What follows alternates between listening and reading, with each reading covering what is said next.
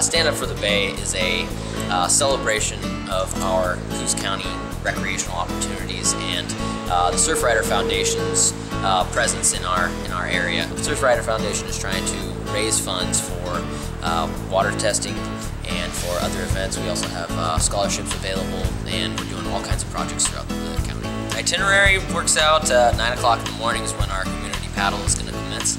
So we'll start off doing a uh, paddle through the Coos Bay waterways, and we'll all come back to the boardwalk. We'll have a luau, uh, kids eat for free, and we're going to have live music as well. And then around 1 o'clock, we're to start our paddleboard jousting event, which is an awesome spectator sport. This year, Surfrider Foundation is partnering with South Slough National Estuarine Reserve, and uh, South Slough has really been a great part of uh, enhancing our event. So we're trying to educate people into ways that they can help to reduce the amount of pollution that goes into the waterways, to understand uh, the pollution problems that are happening in our local area, as well as kind of educate people on the local food chain and food web that is in our native areas.